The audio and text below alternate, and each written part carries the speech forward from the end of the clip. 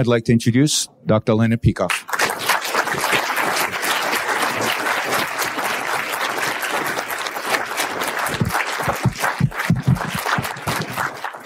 Thank you. I'm here to answer questions tonight. I have some answers. If you have some questions, I have no lecture and uh, very little tidbits prepared here and there.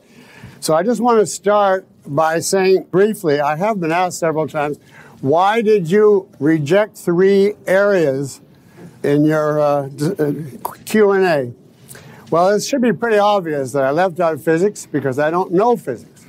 Anything that I know in physics, I learned from Dave Harriman, and it makes much more sense for you to ask him than to ask me, who would just then call him up, and get his answer, and come back and give it. As far as the presidential election, of course, I definitely have knowledge in a very strong convictions about it, but I think we should have a pleasant evening, and I don't, uh, to be quite frank, I do not have emotional control in discussing that topic, and especially not with objectivist audiences. If I talk to enemies, I don't expect anything, so I don't get upset. But I do on that topic, so I just want to keep it off limits. I don't even want to tell you what I'm going to do because someone will say, well, why don't you do that instead? Now, with regard to technical epistemology, I may have may misled you. I am not talking about epistemology on the level that I cover it in OPAR, for instance, which I consider general uh, epistemology. I mean by uh, technical epistemology, I, I, worked for an outfit many decades ago, and my job was to answer by mail, there was no email then, all of the philosophic questions uh, that they submitted. And I remember, this is my definition of technical epistemology. One of the questions came in Ayn Rand says that concepts are formed by measurement omission. The is a concept. Could you explain what measurements are omitted to form the? And I, so I went to them and I said, Am I supposed to answer this? And they said, Absolutely, we answer every question. So I called her up and we had a long discussion. I got all notes on it all and I condensed it. Was really, you know, a good little essay on the, and at the time it circulated. But I mean, so what? It didn't do a thing. It was a lot of work, and that's what I call technical. Uh, now, I'm not saying all technical questions are, are uh, not of value, but uh, too many of them that are posed to me are like that. And the fact is that I am not an epistemologist, let alone a technical one. The older I get, I realize I'm not a philosopher and never really was. My real interest in life is cultural analysis. How does philosophy influence, for instance, the rise of Hitler or uh, the kind of educational system we have or great plays? That's always been the type of thing that I've done. The only exception is OPAR, which was pure philosophy, but that was simply paying off a debt. I had to do that to Ayn Rand in exchange for uh, what she had, you know, taught me for 30 years. But other than that, uh, I never would want to write or really lecture on uh, philosophy. I don't say there's anything wrong with that, but that is just not uh, what I do. So I had to, in advance, squelch people who want to talk about the higher mysteries of uh, measurement uh, omission. So I have a bundle of written questions if, uh, you know, you run out of oral ones. And every once in a while I'll take them, but I see that there looks like a few. So, okay. With regard to people who, acting on Ragnar's imperative, failed to file a personal income tax return, do they help or hurt objectivism? You have no justification in breaking the law and putting yourself uh, at risk uh, of uh, retaliation, more so if you, uh, if you do it in the context of defending a certain philosophy and get it put in the position of being a lawbreaker. So long as you are living in a society, you rely on persuasion and on the rule of law. Now, if you reach the point that you've gone on strike against society and you, are officially taking the position of a revolution, even if underground, that's of course you then you stop like you threw the tea, uh, you know, in, in the Boston Tea Party. But we have not yet reached that stage. There's not enough people to do it. And you're still hoping that it's possible for persuasion and education to change things. So if you, uh, if you don't file an income tax return, don't do it on the basis that objectivism says it's wrong for the government to steal. Uh, it's just the same as if the, the, the uh, mafia comes and threatens to break your leg if you don't pay them off. You don't say objectivism requires me to break my leg.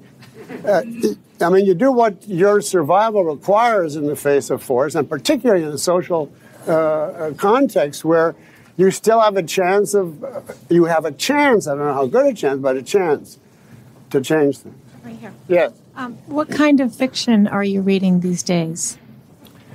Well, believe it or not, I am dominantly reading science fiction, uh, which I never liked, but partly I ran out uh, of other types. No, but partly I've been able to define what is the type of science fiction I like. I hate those ones that start King, whatever, let 10 ziggurats of gloop out into, you know, and it's all uh, uh, some unintelligible dimension. I like science fiction that start in a perfectly daily, realistic setting. Everything is normal. And then one thing happens that's unusual that, you know, or even contrary to fact. And the rest is the implications of that, that one fact. And it's like an act of abstraction. What would life be like if this one thing were different? And there are many, many brilliant books on science fiction, which once I realized that's what I want, that uh, are absolutely fascinating. In fact, I've got to the point where I think, you know, when I finish my present book, uh, assuming that happens, I'm, I'm going to try to write a novel, and it's going to be a science fiction novel. So.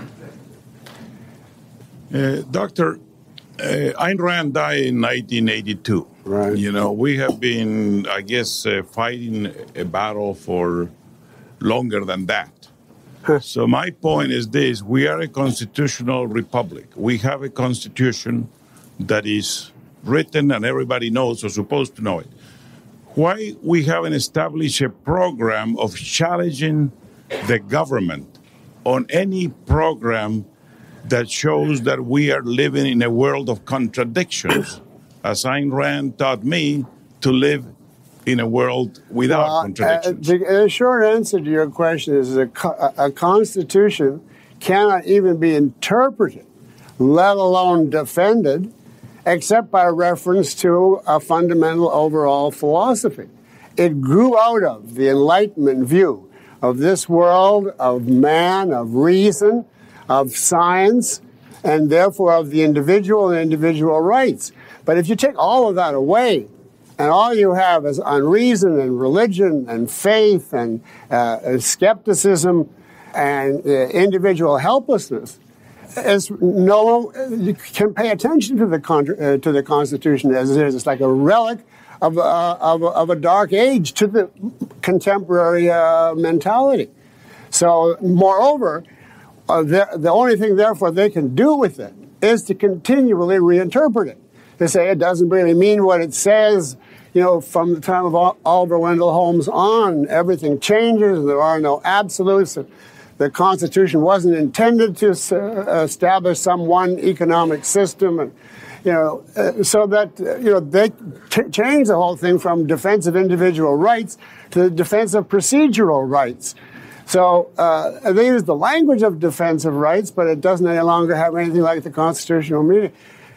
It would be ridiculous, hopeless, futile to try to fight a battle by reference to whether uh, the, the country, the measure of the policy is constitutional or not. It's okay to toss that in, but that, on some specific issue, but that is not uh, going to get you anywhere. Uh, as far as uh, affecting what's going on today. Will that expose the philosophy of objectivism to the to the total public a little bit more no. by challenging you that? cannot you cannot promote a philosophy by reference to the last consequence of some philosophy that is no longer accepted. It's the same thing. So please don't argue that one. Dr. Peikoff, do you think that uh, any attempt to do a DIM analysis in the field of music would first require the development of what Miss Randa described in Art and Cognition as uh, the appropriate aesthetic principles, uh, which would uh, serve as the, the base of the objective validation of aesthetic just judgment within music. And No. um, okay, I wouldn't even know how to apply it, let alone how to draw aesthetic implications from it. I had enough trouble with the fields that I chose. So. No, I understand your reason for choosing literature. It- it's, Um, I, I only can apply it to conceptual, you know, like uh, that's why I chose literature. Uh, of course, I think it's the most difficult, but also the most uh, eloquent of a culture. But be, because it's the one that you can talk about most easily, because its medium is concept. Even painting is much harder to present objectively, but sound, I wouldn't even dream of knowing how to come at it. Right, and I, w- I wanted to find out if you know of any progress that has m- possibly been made within objectivism to investigate Miss Rand's hypothesis regarding the nature of man's response to music that she talks about. in No, I don't know anything. I, I get that question all the time, but I should have a standard form to that. Unfortunately, uh, let you. me take one or two of these written questions now. But don't don't go away. I'll be back. Uh, do you think that environmentalism, with its concomitant acceleration of the loss of freedom, is turning America more towards a society depicted in Anthem? Well, yes and no. It's certainly leading us toward you know the destruction of the whole uh, industrial society and the destruction of individual freedom.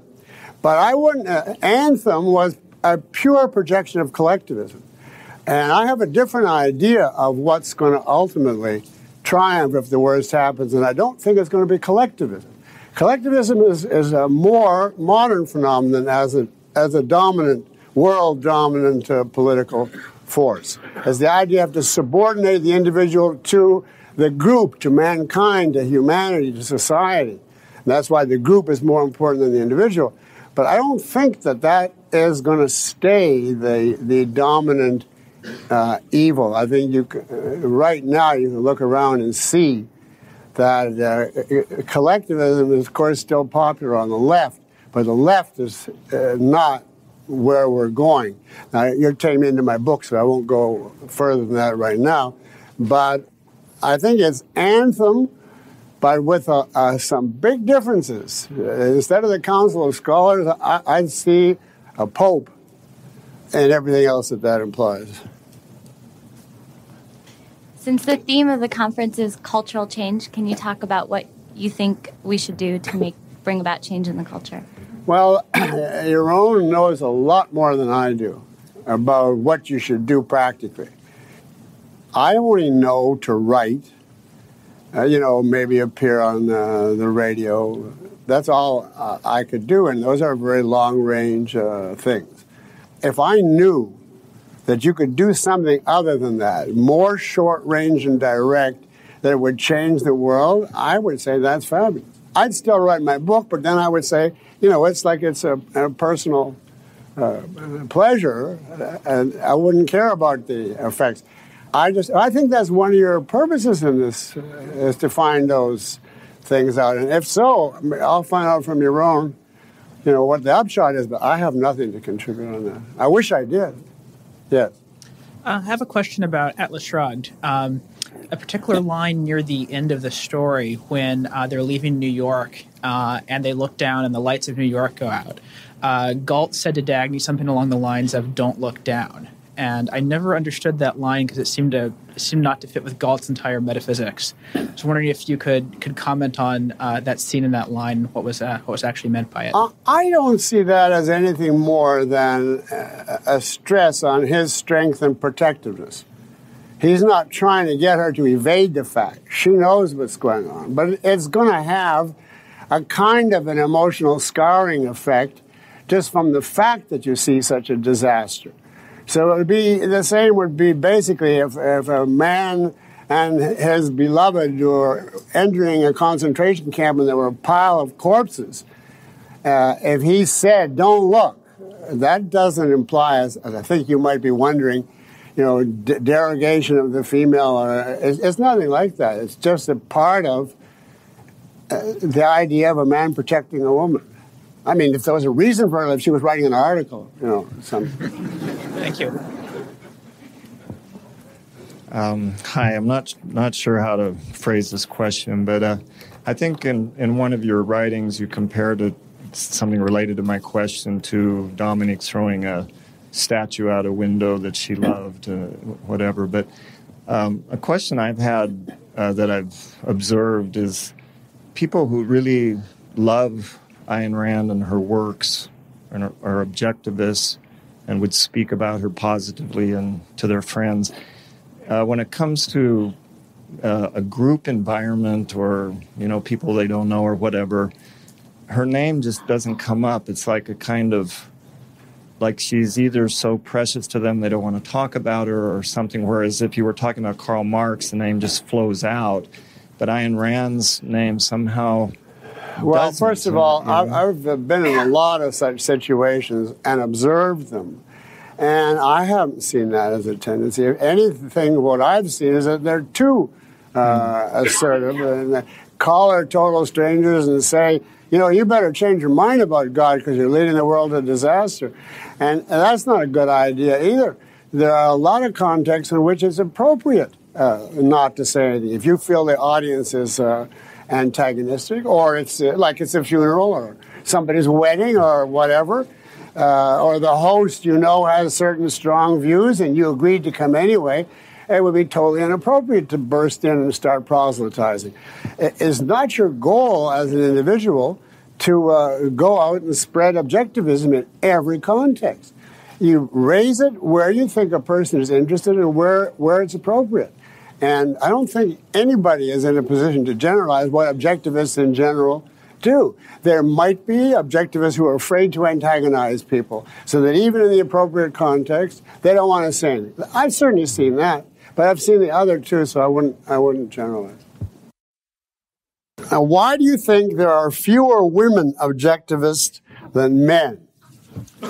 Well, I mean, that has no way restricted to objectivism. There are fewer women in every intellectual movement except feminism.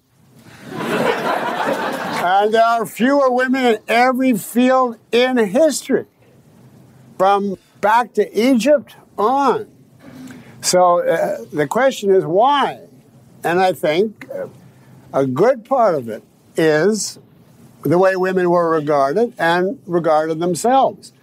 In a, in a pre industrial society, raising children, uh, being able to survive, physically getting the food and so on, was, you know, you didn't just call uh, on the internet and they delivered everything. Uh, it, it, was a, literally an exhausting, backbreaking full time job. And similarly, for the, the, the, man, the father who had to uh, go out and try to scrape something out of the ground. So it was, uh, it was a division of labor that was just handed on and on. And it was only in the last, uh, I would say, century or so. There always were some exceptions. Uh, in, in every field, but it was only in the last century that I know that uh, wealth uh, reached the point that women were totally liberated and had the freedom and the wealth and so on, and that division of labor was no longer a requirement of survival. And I've seen a number of couples now where the husband stays home and looks after the kids, and the wife goes out to work. When I was growing up, that would have been considered inconceivable. But it's, it's normal. So I think the situation has changed, and I think that there's a lot more self assertiveness uh, among uh, women. I do not think that the implication is men are intellectual and women are emotional, because there certainly are, if you judge by the history of philosophy, a hell of a lot of emotionalist uh, men. But I guess that so far it hasn't, uh, you know, you have millennia to overcome. So, and I don't think the feminist movement is helping because it's pushing to the forefront all the people that would not go for a, a rational uh, movement. But I think in, in time, if uh, freedom continues, I mean, Ayn Rand is an example. She was uh, pretty good, and uh, she was a woman. So, uh, and she was certainly in objectivism. So. Although she, she wouldn't call it that, but. Quality over quantity. Yeah, quality over quantity, but I think you can have both. Um, Can one have a happy retirement past the age of 70 while existing off past productivity with no attempt at new productivity? Well, I just say flat out no.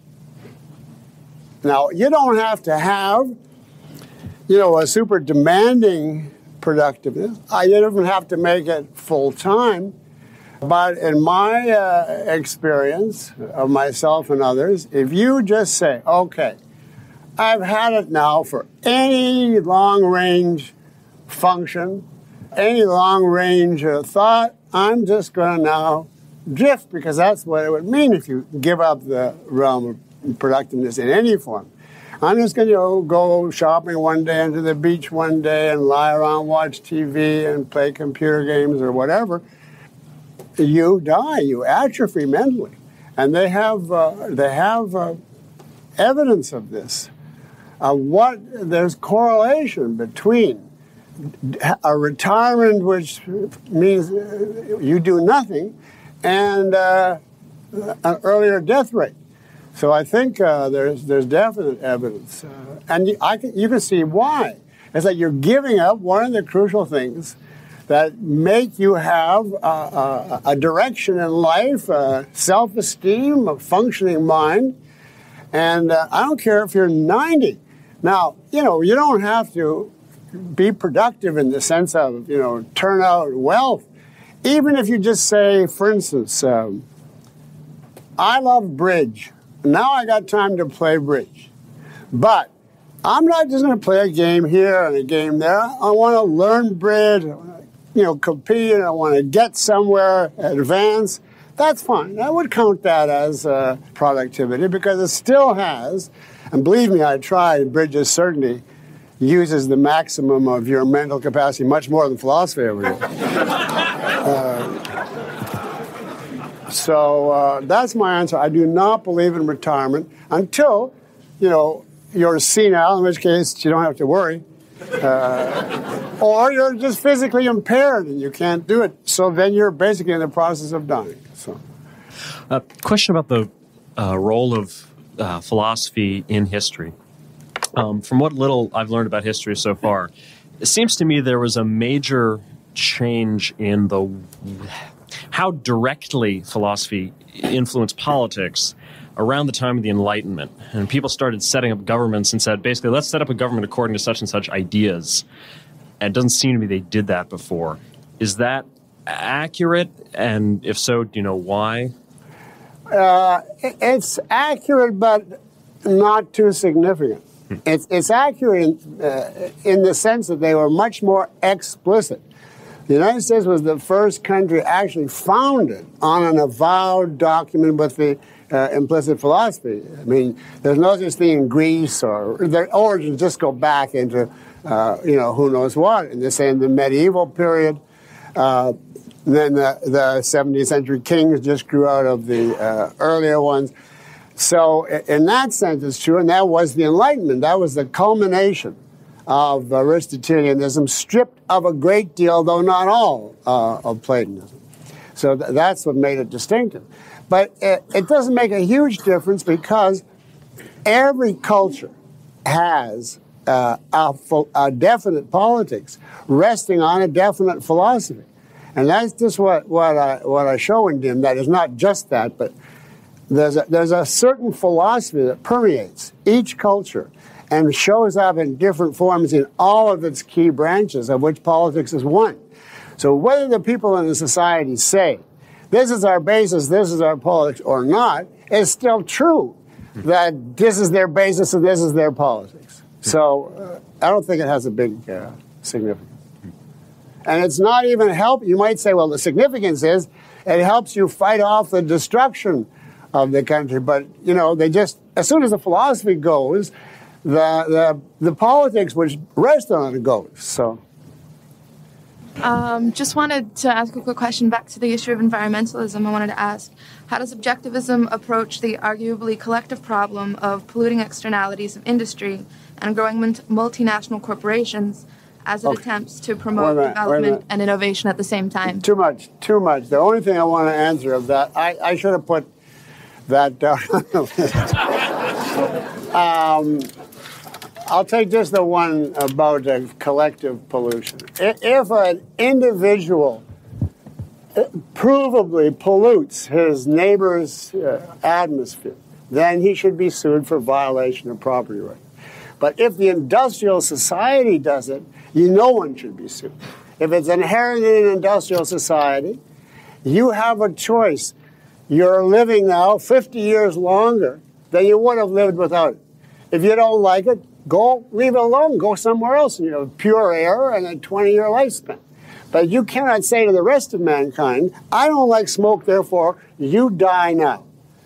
And that's what it amounts to. If, if suppose it were the case that, that uh, there was no way, I'm told there is a way, well, I'm sure it's not a wind or solar, to, to minimize uh, uh, pollution. But suppose there was no way. inherent in industrial society was smog like LA has all the time. And it was one or the other. I would say I'm absolutely for the smog then. I'd rather live 70 years with my eyes tearing than 20 with them not. Uh, so uh, it's ridiculous to say, what are we going to do uh, about, we'll have to cut back on the industrial civilization uh, because we can't take particulate uh, matter in the atmosphere. If you can't take it, leave town. Leave, you know, there's places, I think there's islands not in Fiji because it's too civilized, but farther off uh, from Fiji where they have no smoke, uh, just when they when they light fires, you know, uh, with uh, rubbing matches together, uh, sticks together. That's all I want to say about that. I'm, I'm a total defender of smoke, warming, whatever it is.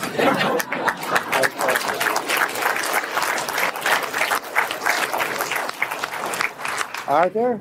Yeah. Dr. Peikoff, what do you hope to achieve with your podcast and where do you see it going in the future? Oh, well, I'm very happy with my uh, podcast. First of all, I enjoy it. Uh, I wanted to get an idea what is going on in the objectivist world because I just sit home year after year writing. I've given up basically public appearances. So I wanted to get some kind of feeling, and I, I definitely am doing that. And I'm very pleased with the quality of the questions. You know, I throw out some, but uh, there's a surprising number of interesting questions. It seems to be more so than they used to be 20, uh, 30 years ago. So that's one thing I wanted. Another thing is, I think there's a number of people. I haven't taken one of those, uh, what do you call it, measurement uh, of your audience, first hits and second hits, whatever. Uh, all that is. But I think there's a number of people who are who are coming to objectivism and then fall into the podcast and then start listening on a regular basis. And then they send a question, how can I get more information on this? And we send them back the names of books. So I think it has a certain uh, effect uh, of that kind. But basically, I did it because it, it's very wearing to spend your whole time from morning to night on how does the psychoepistemology of Roman literature affect you know, and it's good for someone to say, you know, is it okay to have sex in an air raid? It's, you know, it, it's, uh, you know, it's light. It's like a dessert after. Worth it. Yeah. Thank you.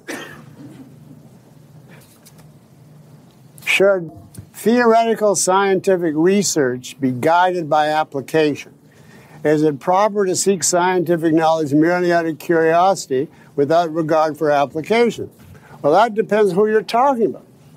An individual scientist may have his total interest involved in the intellectual discovery, curiosity, advancing the theory. And there's nothing whatever uh, wrong with that if there's some way that uh, he can finance it and support himself. But normally, the way a scientist could finance himself in that kind of activity would be by means of some business that's interested in the applications. And therefore, there's not a dichotomy between them. In, if you now ask about it in regard to man as such, then it is wrong.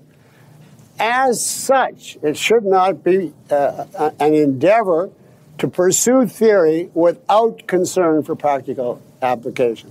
As a division of labor, that's okay, but not in the Platonic sense that applications are low, they're not worthy, they're not as important as theory, and therefore we should just do theory. It's, it's an interesting question. Let me just do uh, one more here. Oh, yeah, this one. Now I'm stuck on one of these. And the person lists five uh, genres and says, "What are your favorites in each? Your favorite in the scene in each of the following?" And I, I can't think of one of them, but the other four: novel, I'd say Atlas Shrugged. Play, Cyrano. Uh, painting, uh, creation of Adam. You can see it. I like Michelangelo. Sculpture, The Dying Slave. And the other one was song. And all I could think of was God Save the Kings, which is definitely not my favorite song. I don't, I don't, uh, I just don't think of songs. There must be a favorite song, but I can't. Maybe something by Emmerich Kalman, uh, um, Ganz ohne Weiber, maybe, something like that. About the one from uh, Gypsy Princess where he sings what life would be like without women. And uh, that was a, a, really good song. I never thought, if you call operetta, then I'd say my favorite song is basically anything by Emmerich Kalman. But I thought you meant like uh, I did it my way or, you know. okay, I'll take this, yeah. I've observed, and in talking with some of the other gay objectivists, I, it's not an observation that's unique to me that we are somewhat overrepresented as a demographic among objectivists. Who is? Gays. Oh, yeah. And, um, and I'm wondering if you might have anything to offer as to why that might be the case. I don't even know that it is the case. I mean, how do you know? Um, it just seems like when when I'm out and about in yeah. in the outside world, um, and, unless I'm at now, is something. this true in any state or? Well, I mean, I live, in, you know- I, I live in California, so I can only speak as far as that. When I'm south? when I when I'm when I'm out and about in when I'm not around something that would typically be considered gay, that I don't come across as many gays as I do when I'm at an objectivist conference. I never heard that one before, but I mean, do you see a problem if it is? No, I was just it, I just find it I just found it curious. I never. I, I definitely don't consider it a problem at all. I think it's fantastic. I've never analyzed that fact. I think I think uh, these uh, demographic analyses only hold with very large numbers. So, like if you had 20 million objectivists, it probably would even out. You know, I'm not sure. Thank you. Is part of Ayn Rand's validation of the objectivist ethics in conflict with modern biology? And I get this one. I think I've done this on the podcast twice. Isn't her claim that the automatic functions of living organisms are all aimed at the preservation of the individual organism's life in conflict with the consensus of modern biologists who claim that the ultimate goal is the reproduction of the organism's gene? Well, what is ultimate goal to whom? Now, living organisms don't have an ultimate goal. If you asked uh, any copulating animals, is what is your ultimate goal? That's ridiculous. They're enjoying themselves. Their motive, if you put it in human terms, is a personal, selfish pleasure uh, in their own life. So uh, it, it's got to be either God's ultimate goal or the biologists have got an ultimate goal as a Platonic archetype, or they've erected Darwin into a floating abstraction. Because in actual reality, the concrete, uh, their goal is judged by what they do. Uh, and their goal, the, they do re- reproduce, but they don't aim at reproduction as the consequence. Any more than a cow can get in front of a train and be dead, but it didn't aim uh, at suicide. Now, but then the question uh, can be put this way well, but uh, uh, reproduction, why is that a function uh, in life if uh, in, a, in, a, in a living organism if everything is supposed to be for life, for his life? And it's a very simple answer. Where does life come from? How I, uh, was he going to live without being reproduced? Now, you could say, well, if I were God, I would have found a way that he comes out of thinner. And then, so there's no such thing as, you know, passing on uh, genes. But that doesn't happen to be the way reality worked. And reality happens to work in such a way that you can get to be alive only if some preceding generation does something. So, in that sense, your selfish life is a function of reproduction. Not that you're doing it to carry it on, but that's the way the setup is. That's the way the nature of a living organism is. So it's not at all the case that there's reproduction versus life, and the fact of reproduction refutes life as an end in itself. It's reproduction is the means of life, and uh, the standard is still life. It's not the continuation of life in the next generation. I, I, I don't know. I get this all the time. It must be the biologists are making a big um, a big issue about reproduction. I guess because that's altruistic and you're serving the next generation. I see that there's going to be no uh, shortage of questions since I have a big stack here, people there.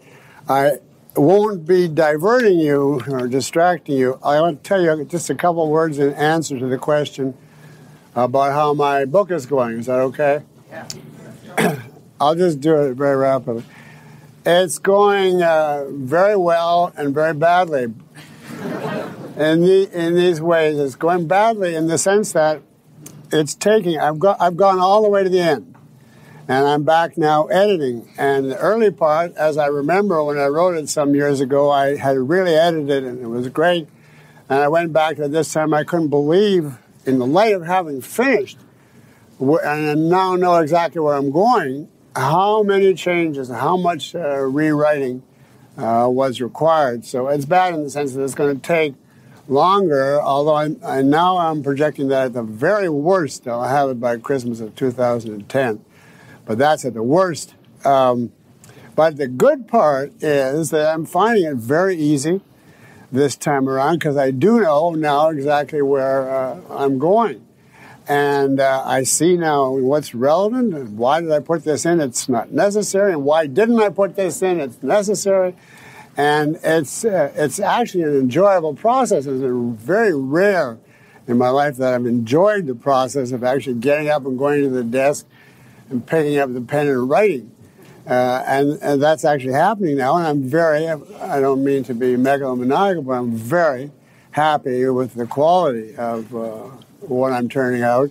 I think it's going to be, without any doubt, far superior to anything I've done uh, before. The other thing to boast again, I'm finally convinced, having gone to the end of the book, that it's correct. you know, I called it the DIM hypothesis because I left open this is a, you know, this is a, a possible, probable way of looking at history, but I don't know whether it will ultimately hold up. I'll just tell you one quick thing. Uh, there was the turning point in my mind. I had a lot of evidence that I was right, but I didn't regard it as totally conclusive. And the turning point was when I got to ancient Rome, to Virgil. Uh, my uh, overall thesis in the book required Roman literature to have a certain character.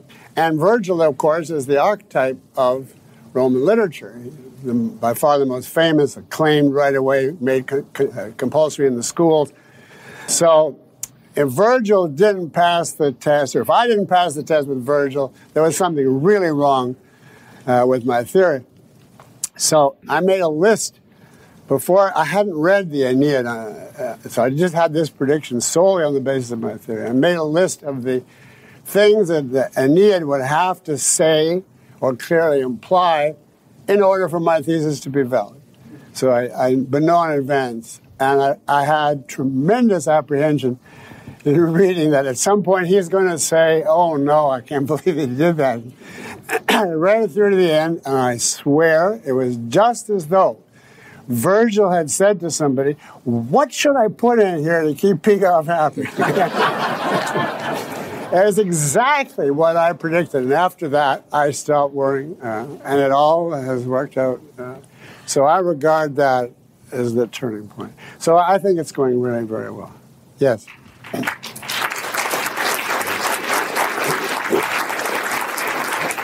Thank you. Um, I'm a student of philosophy, and I was wondering, what is there still to study within objectivism, within philosophy? I mean, where is there to go? Well, where have you gone?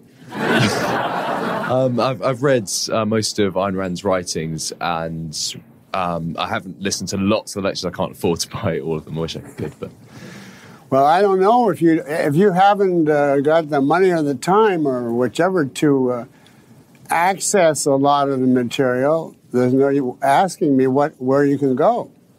well, no, no. I mean, uh, we've uh, with everything Ayn Rand's done and Yeah. that you've done. Oh, you mean is there anything new to discover? Yes, I- yes. how no one can say that till a person discovers it. I mean, that's like like saying before Edison, well, what is there to invent? Uh, all the inventions have been, oh, we got the steam engine, you know, we have etc.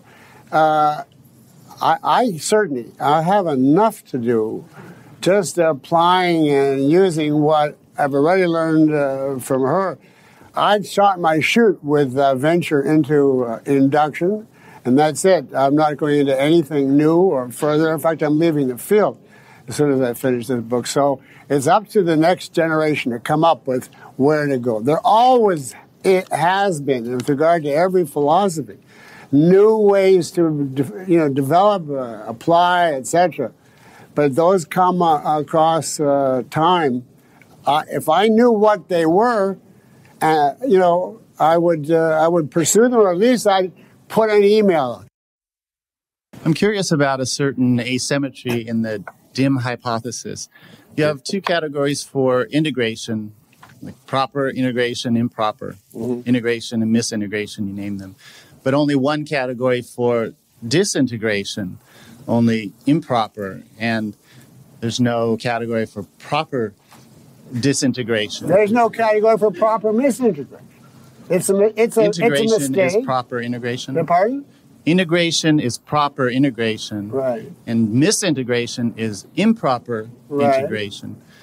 But well, uh, how can how can there be two types of not doing something? the only thing there can be, which I do have, is a division, which I'm not going to go into it now, but it amounts to those who are against integration and those who simply limit it.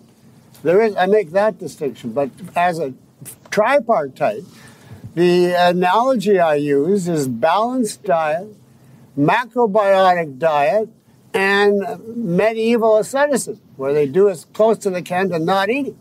Now, you could distinguish them. You know, the ascetics uh, who don't eat bread from the ascetics who don't eat rye, but still they're starving.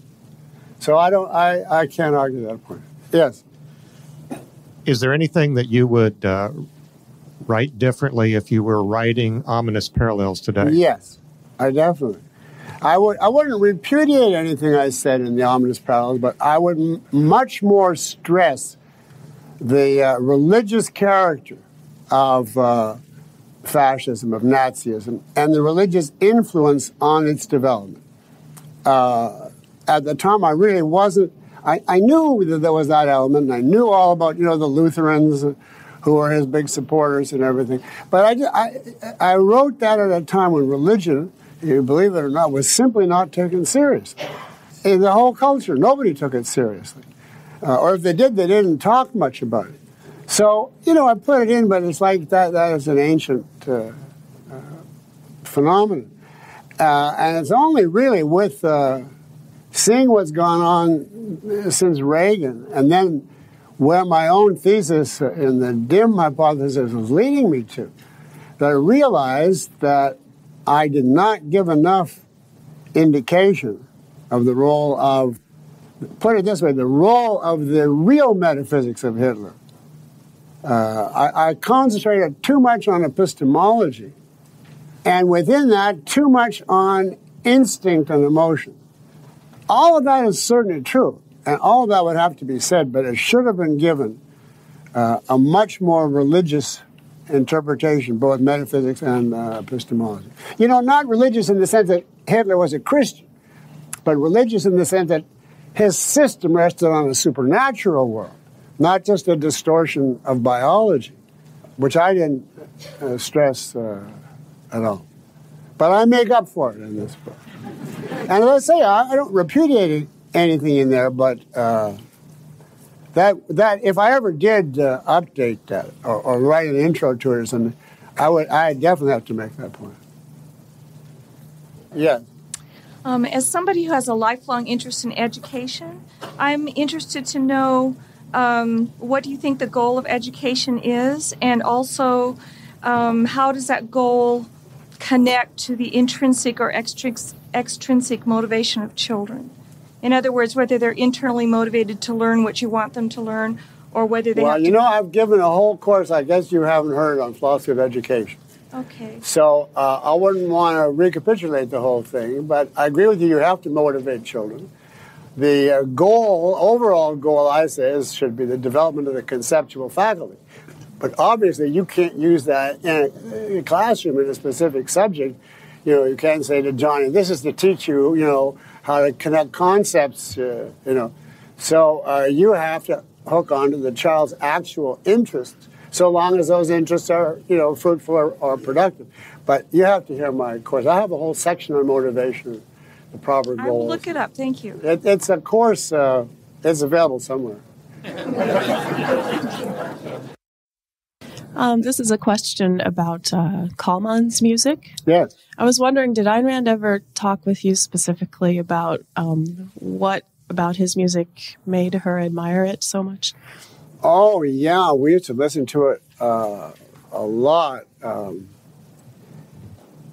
she liked especially the, the the happy, really bouncy, cheerful uh, numbers. She thought they were like pure uh, benevolence, joy of life, and th- those are the ones she would conduct sometimes with her baton, you know, as they were going on. And I was a musher. I liked the lyrical uh, ones, which she also liked, but they were beautiful ballads, you know, where the man declares his love for the woman, and uh, so the, it, would alternate. Uh, so one of my favorites, and then one of her favorites, and then some, you know, we, we liked together. They were tremendously melodic. They were very original. Uh, they weren't. Uh, for instance, she hated Gilbert and Sullivan. Uh, she she did not especially like uh, most of the others didn't like Offenbach. Uh, she didn't particularly like Lehar, although some Lehar she did. But she she loved Kalman because he was unique. You could hear his style, and there was just nobody else like him. By the way, they're now offering on the internet a complete version of some of his utterly obscure operettas that were never recorded before. Like, uh, I don't know if they're any good because I've disordered them, but Arizona Lady and uh, a few others like that. Uh, if you're interested, if you collect Kalman, uh, they're they're bringing it out now, which is to me is really interesting. Yes. I'm curious if you could talk a little bit. I feel you have had a big influence in cultural change with no I disrespect to your own. Yes, you've certainly changed my culture. I think a lot of ours. Equivocation. So I'm wondering, I, we had some great talks on altruism and pragmatism at this conference so far. Can you give us any tips or I feel like from those talks, I feel like I actually have not been recognizing those problems.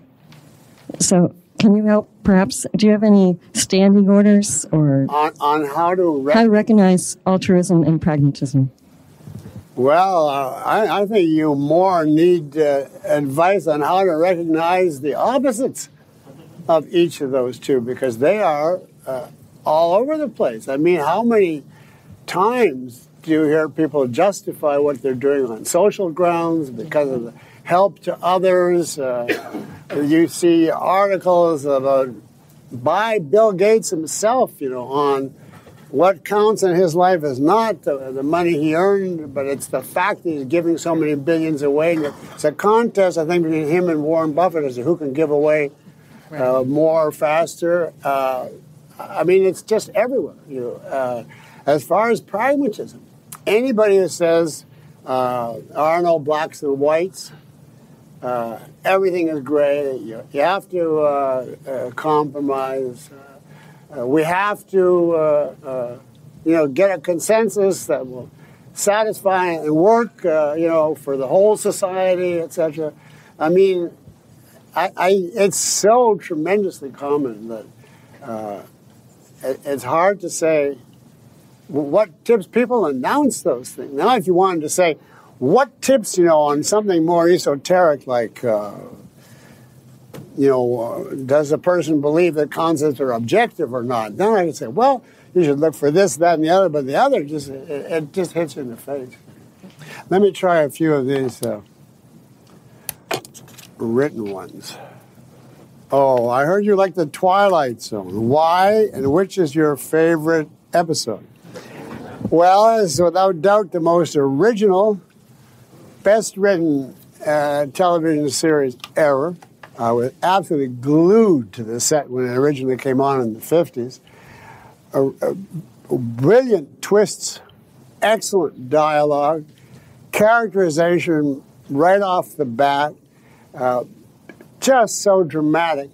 Uh, uh, there's definitely my favorite episode is um, what is that called? A lot of um, people use it. A lot of objectivist teachers use it in class because it's the most philosophical television drama in 30 minutes ever created. What is it? No, that's not the one. A nice place to visit. That's it. Yeah. If you ever get that, uh, that has one of the most complex philosophic messages ever, delivered in a in a drama uh, at the end of it, the dumbest student in your class gets the point, which he would not if you had lectured on it for two hours. It's just a breathtaking work. of it's science fiction, which is pure philosophy. Uh, it's such a work. I think Charles Beaumont uh, wrote that. He was a frequent writer uh, for the Twilight Zone. Yeah, no, uh, that sort of dates me, but I've never seen anything as good as the Twilight Zone in the last 50 odd years. What did Ayn Rand think about the theory of evolution and is the objectivist ethics based on it? She explicitly said that she had no opinion about the theory of evolution because she did not, she was not a student of biology. She wasn't for it or against it. And obviously, her theory was in no way based on it. Uh, and she didn't, obviously didn't believe the alleged alternative of God creating uh, the species. But her theory, her ethics is not based. Her ethics is based on the Industrial Revolution, not the theory of revolution of evolution. If you want to put it that way. I wonder if you have made any thoughts on why you had the Aristotelian revival in the Latin Church, why and why it was outright rejected in the uh, Greek Church. I don't know that fact, so I have no uh, view of that. I'm glad to hear it. It is in the Latin. Well, you know, the West has been more rational, bad as it is than the East. But I didn't know about uh, about Thank you. that. Yeah, go ahead. Yeah. Thanks. According to objectivism, man faces a fundamental alternative on which the whole of ethics as a field rests the pre-moral choice to live. My question Is it proper to ask for a reason why one should live? Or something at least that is motivating that you should make this choice? Okay. And if it's a proper Uh, wait a minute. That's enough Okay. because I've Okay. answered that. I answered that uh, specifically in OPAR. Is it an arbitrary decision or not? And I, I went into that. I showed how the question of should one live is the question should one accept existence as against its alternative? And there is no alternative. Uh, and that arbitrary is a con- concept that can be defined only within the context of reason as what it's a denial of, and reason is the faculty of knowing existence. So you have to accept existence as against non existence as your primary before you can use such a concept as arbitrary. So you can't then say maybe the acceptance of existence itself is arbitrary. Now you think about that because I have already covered that definitively. Yes, over here. Um, Dr. Peikoff, in um, OPAR, in your section on honesty, you have a single sentence. Is that you, Diane? It is me. Hi. Yeah. So in, in OPAR, in the section on honesty, you have a single sentence saying, in a full treatise on ethics, it would be perfectly appropriate to explain, for example, why it's okay to tell lies to protect one's privacy in response to snooping or in response to snoops. And I'm wondering if you can tell us a little bit more about a what sort of the bounds of that are in terms of what kinds of lies might be appropriate and who would qualify as the snoops. Yeah, no, I really can't. Uh, I, I, um, I deliberately did that to differentiate the principle that I was trying to cover from complicated cases.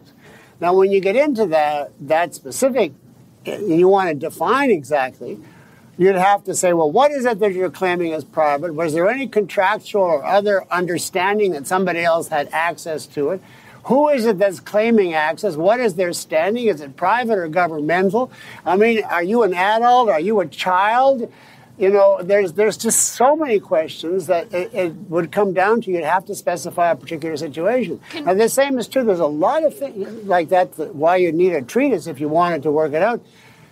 It's the perfectly legitimate for a doctor to lie to a patient in the hospital if the patient, in his judgment, does not have the strength to cope with the truth and would be, you know, derailed in terms of uh, uh, achieving health because of it. Uh, and that's part of his function is to keep this patient uh, functional. And at some point, he's either going to die or become strong. If he's going to become strong, okay. Um, or else he's going to become strong enough and the doctor gives up hope.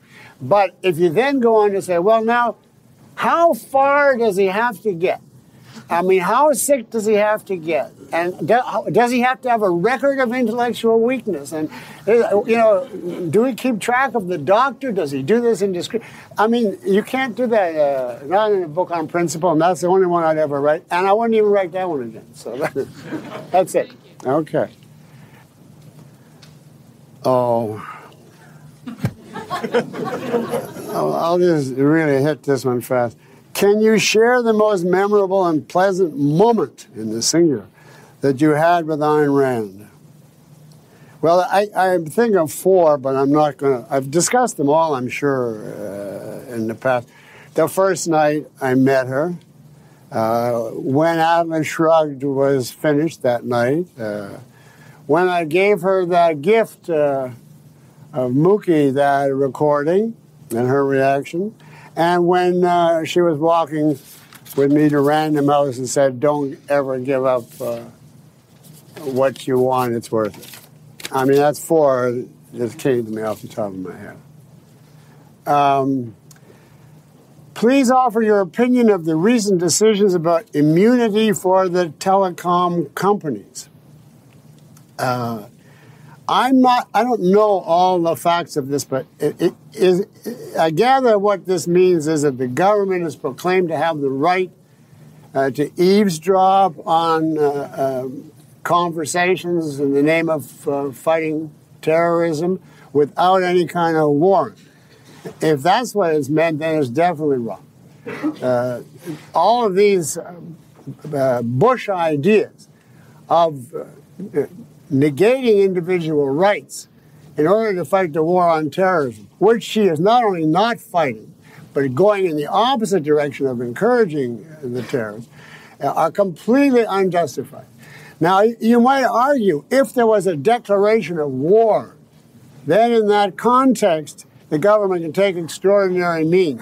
But there is no declaration of war. We spent our whole time sucking up to uh, the terrorists, and the only place that they fought, and even there in a half-assed fashion, was the most secular country uh, in the Middle East. So uh, the whole, I couldn't even talk about Bush without. Uh, no, I, I think that the, the government should not have any rights to violate uh, individual rights or individual privacy uh, that it doesn't have in a normal context uh, uh, until and unless they fought a real shooting war with nuclear bombs uh, all out. Then you can say we're in a total threat. We got to get this information. But uh, you know, while they're playing games and killing soldiers by the thousands, and Bush is taking the attitude, well, I'm not going to worry about it. Let the next president worry about it. It's all I can say is the worst insult I could say is it's Republican. Now, here's a funny question. In the title Atlas Shrugged, is the word shrugged a verb or an adjective?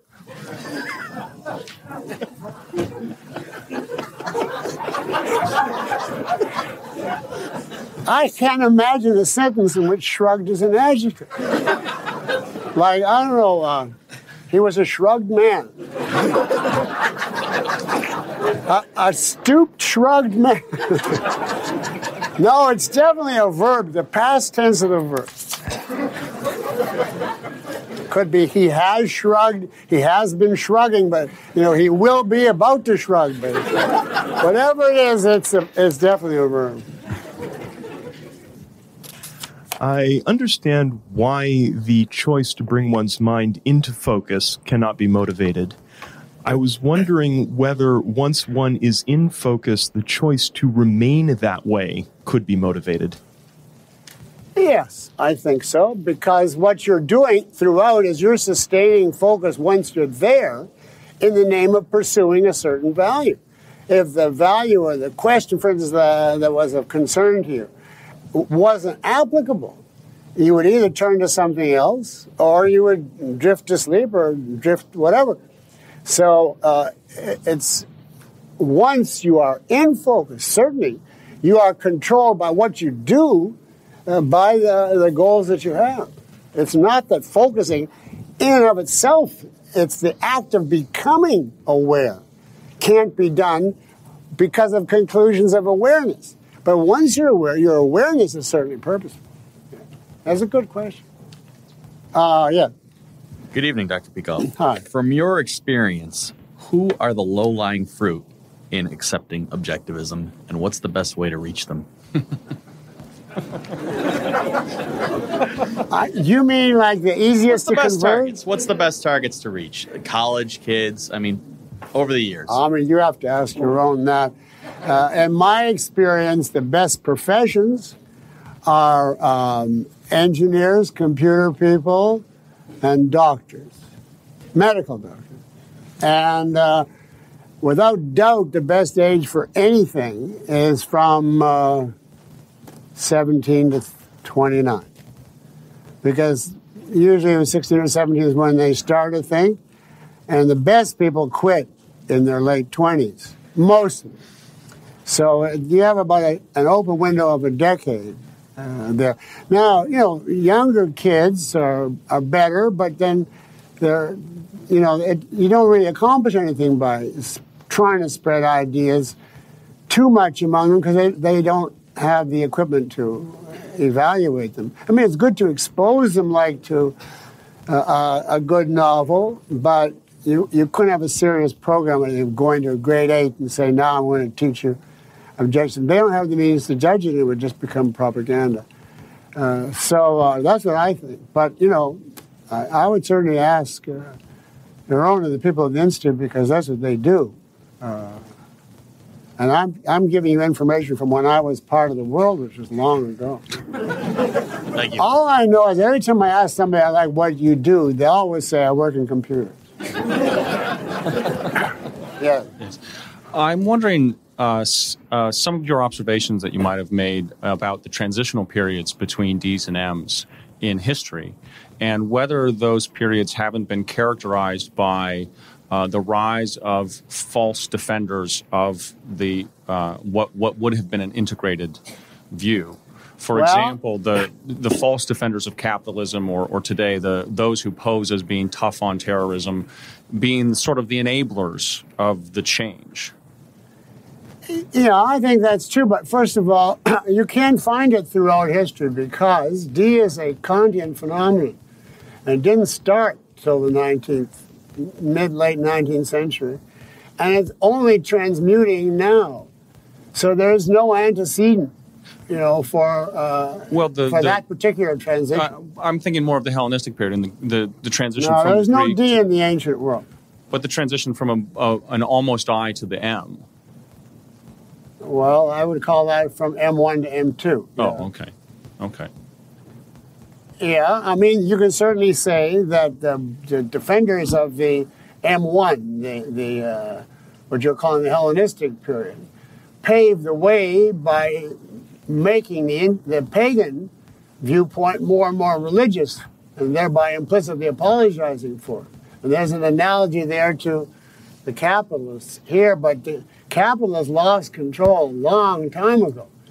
So the, the fight now is not overcoming uh, capitalism. The fight now is between, well, you know, the religionists and those who are actually opposing it, but the pro-capitalist side culturally has aligned itself with religion.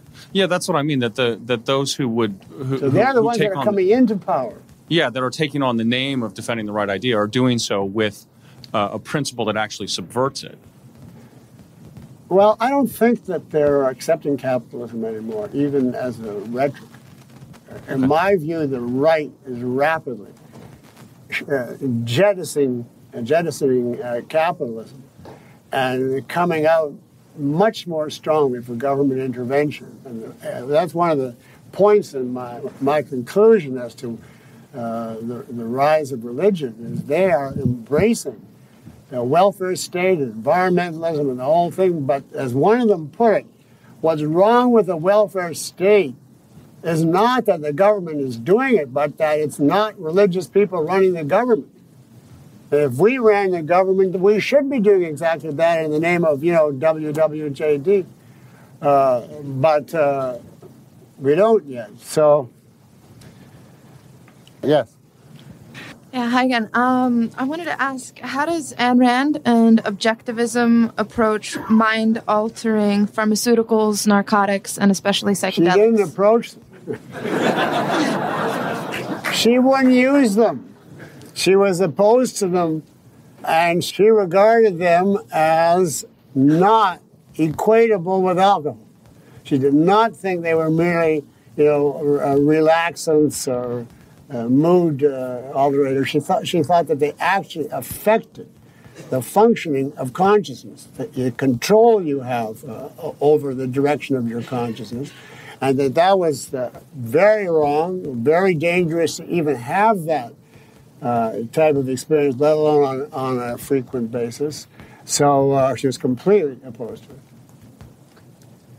Not to alcohol, but of course, uh, she would believe in alcohol only in moderation. Not, you know, she herself didn't like alcohol, although she wished she did. she used to say, "That's another thing that I wanted to enjoy and couldn't." What do you think about a woman that makes more money than her man but still wants him to support her?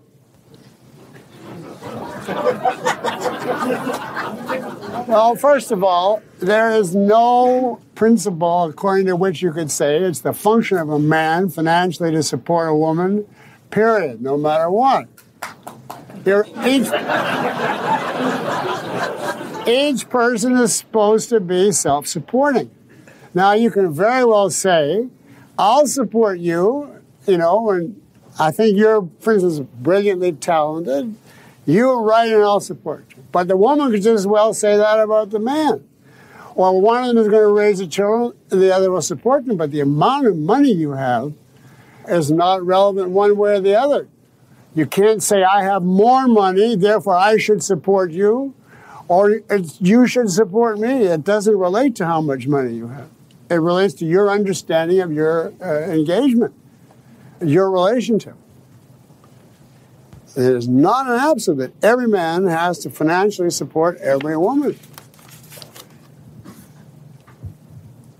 Is it morally permissible to approvingly quote the work of a person one knows to be immoral and dishonest, Or would that constitute a sanction of that evil? It, it really depends who the person is and what you're quoting, how bad the evil is, and whether how your quoting will be interpreted. Now, for instance, Kant is just as evil a person as there is. And if I quote him, even if I quote something that he said approvingly, like he said, concepts without percepts are empty, percepts without concepts are blind, which, you know, if he meant the right thing by it, it's a good thing. And I could certainly imagine quoting without feeling the need to say, I don't like him, he's monstrous, but just this one sentence. But then it's clear I'm taking a sentence from a total uh, philosophy, uh, and it's not uh, his philosophy. But uh, suppose it's somebody, a Kantian today, that I'm actively fighting, that I think is a, is, is a real uh, threat, and no, there's nobody else has uttered that sentence. I'd have to ask myself, I'd rather not give that person the sanction and the publicity just so that it would be out there in print that Peikoff thinks ha- has read and liked some part of this book. I ask myself in a case like that. I mean, if it's somebody I hated, somebody I thought was really destructive, I'd say, what is it that's so crucial that I can't paraphrase, that I can't condense, that I can't remove? Now, I've had enough experience as an editor of stuff where, you know, you're told 200 words have to go out of this 300 word page, and it's got to be within two hours. And you do it, and the continuity, and the logic, everything still remains. It's a little terser uh, than it was before. So I don't, I don't think there's ever a practical situation where you have to do it, and I wouldn't do it if it uh, if it's someone active that you could be taken as that. But uh, in most cases, if you're talking about classical figures, it doesn't mean anything. Once they've achieved the status of classics, they're uh, no one thinks that uh, you subscribe to the, their views, to all of their views.